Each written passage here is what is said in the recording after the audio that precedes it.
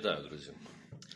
Патова ситуація в управлінні ЖКХ, або наші чиновники можуть тільки розмовляти, гарно по вухам їздити громаді, в більшості перед виборами та і все.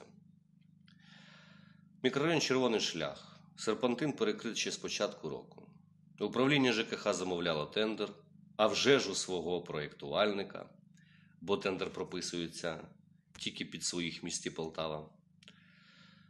Сроки нарушені, бо потрібно було провести археологічне дослідження. Перенесли, відкоригували проєкт. І наразі нам повідомляють, що його можливо таки дороблять до 15 червня.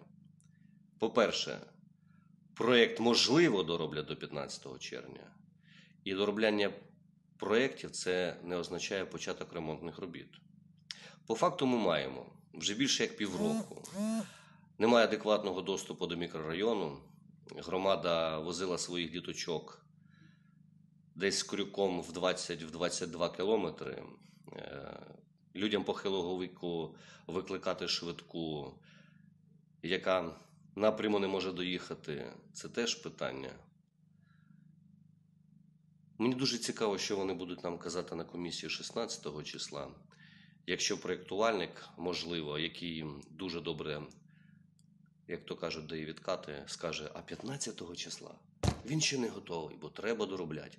За відчуттям вони е, не дорогу ремонтують і не проєктують серпантин, а проєктують, мабуть, євротунель, який будувала Франція і Великобританія.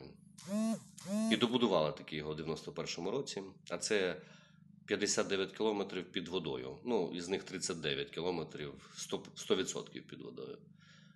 За 7 років збудували. А наші не можуть за рік збудувати дорогу до мікрорайону.